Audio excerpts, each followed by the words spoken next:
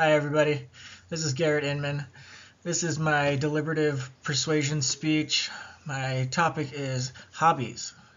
They're more than just rewarding, they're all about giving back to your mental and physical self.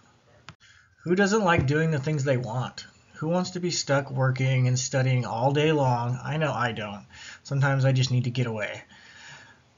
We work hard to reach a goal, right? We study hard for the best grades, but most of that isn't giving back to ourselves, taking care of ourselves in the now.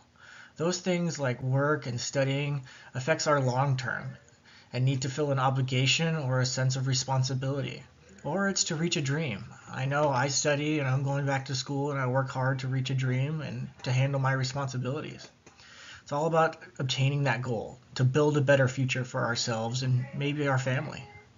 So what can we do to bring some joy, relaxation, avoid that every what everybody uh, hopes to avoid that burnout and give back to ourselves.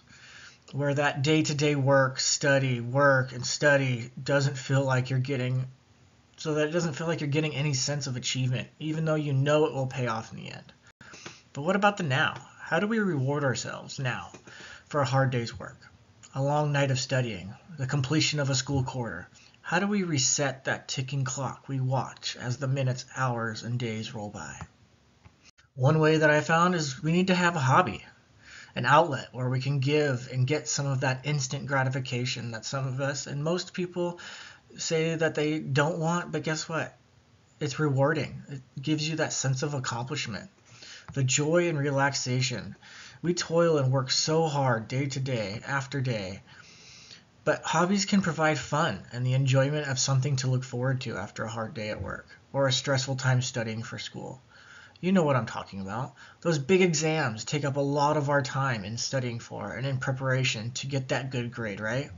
Same goes for work and caring for our family. These are all things that are important to us. Taking care of our family, our goals, and our future is important. But what about that small fact that we work so hard and forget to remind ourselves to give back to ourselves? Take care of ourselves and reset for the next day.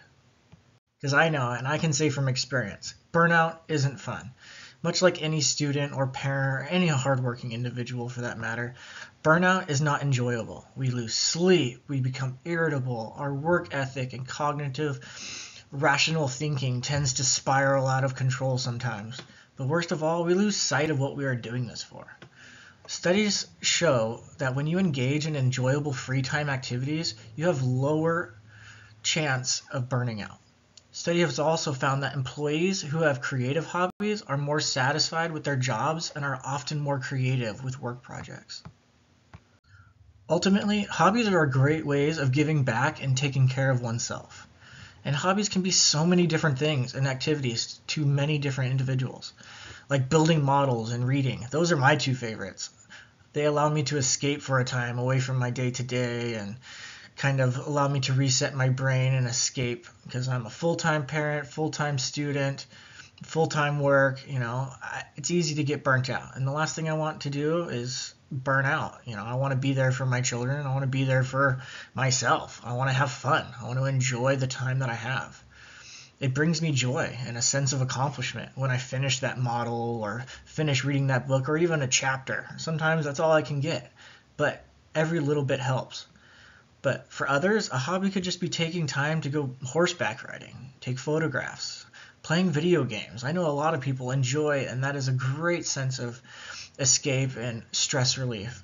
Enjoying time out with friends or spending time with family. Fishing, sewing, cooking. That's just to name a few. Everybody will can find something that they are are passionate about that will allow them to just escape and reset that battery. Hobbies truly provide both physical and mental health benefits to adults and children.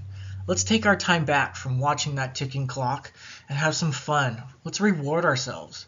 You work hard, you study hard, and handling your responsibilities, so give back and have some fun. All right? Thanks everyone for watching. Go find yourself a hobby and let's have some fun.